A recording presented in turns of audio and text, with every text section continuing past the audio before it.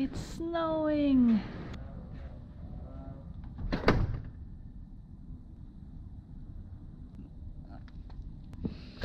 Oh fuck. Test, test, can you hear me?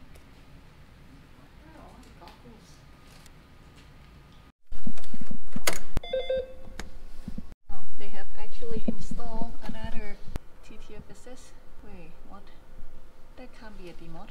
This is a serial number 13. This one, that's what we're using. That's a serial number 14. I don't know why it says demod over there. That's we're supposed to have a PFD. Ah, oh, no. Alright, let's set up some noise monitor so I know I'm not killing locks.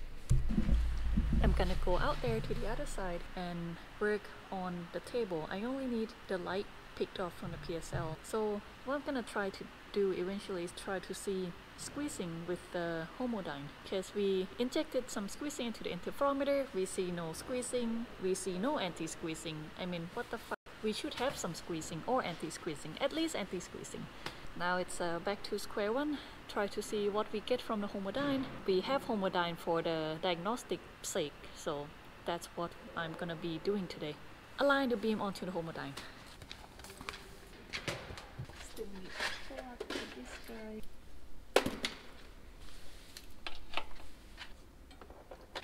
Yeah, I actually don't need that many inputs, but I like to look at a certain signal with a certain scope, the other signal with uh, another scope.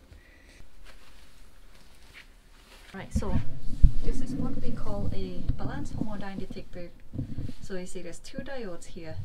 The key to see squeezing on the diagnostic table is that you reject all of the common mode noise, uh, for instance, uh, laser frequency noise or acoustic noise, uh, whatever that could come in your LO uh, local oscillator beam and uh, squeeze sidebands. Once those noise are subtracted between, so like one one of the diode has a minus sign, so any noise that are common in the in those lasers are being subtracted, but it cannot subtract quantum effects. In the end, you're gonna be limited by shot noise.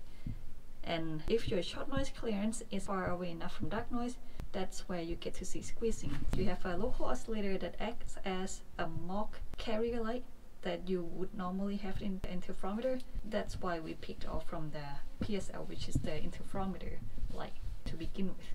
The LO, what we call LO, comes here, and here, through here, through here, through here, and bounce, bounce, bounce. So this is a beam splitter, so part of it will go through, but part of it will comes here and bounce off this mirror and goes to the other diode. And another beam comes from that periscope. It comes from the other side of the table, goes into HAM6, come out of HAM6, hit that periscope, that bottom periscope, come down, the flipper will be open, hit that mirror, hit that mirror, and comes right down to the beam splitter. Part of it goes through and part of it reflects. So the beam has to be well overlapped for this to work. So my first to do item here is to get the LO to balance.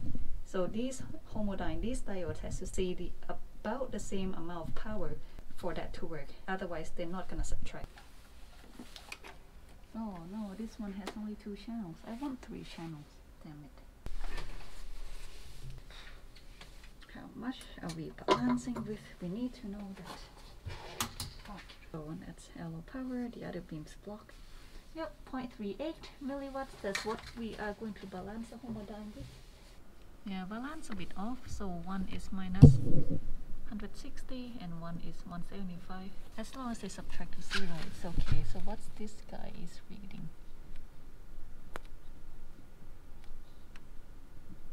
Yeah, they're not so bad. I want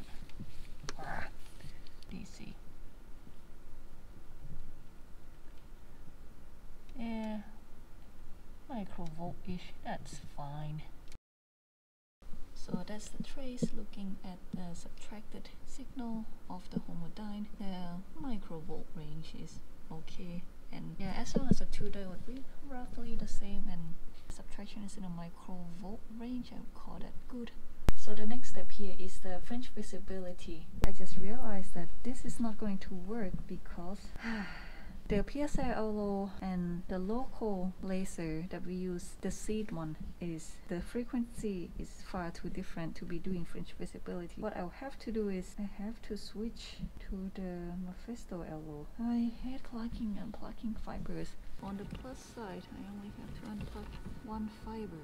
Oh fuck, which one is which? Right now, I don't know what the fuck happened in the PSL, but if the if somehow something changed in the PSL, that affect us too because we locked our beat note to the PSL. Right now, it's just complaining that beat note is slow.